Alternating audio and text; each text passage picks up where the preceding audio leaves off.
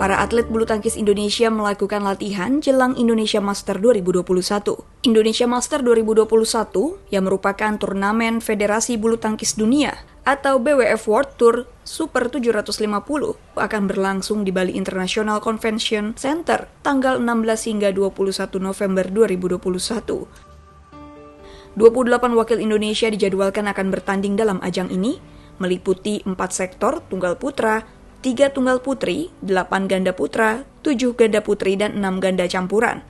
Beberapa wakil Indonesia akan menghadapi lawan yang tidak mudah, dan beberapa pemain terlibat perang saudara sejak babak pertama. Tantangan berat akan dihadapi oleh tunggal putra Tommy Sugiarto di babak pertama Indonesia Master 2021 nanti. Hasil undian akan mempertemukan Tommy Sugiarto dengan unggulan pertama Jepang sekaligus tunggal putra nomor satu dunia Kento Momota.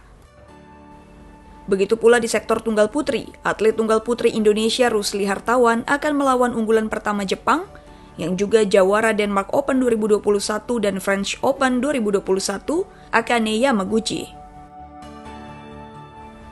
Sementara beberapa wakil merah putih terlibat dalam skema perang saudara lantaran berada pada pool yang sama, yaitu pasangan ganda putra Fajar Alfian Muhammad Rian Ardianto akan menghadapi Muhammad Sohibul Fikri dan Bagas Maulana serta pasangan ganda putri antara Fitriani dan Yulia Yosepin Susanto menghadapi Feby Valencia Dwi Jayanti Gani dan Jessica Putri Miantoro.